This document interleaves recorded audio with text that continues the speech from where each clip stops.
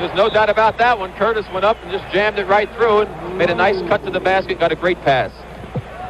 He has done an outstanding job on the offensive boards in this series.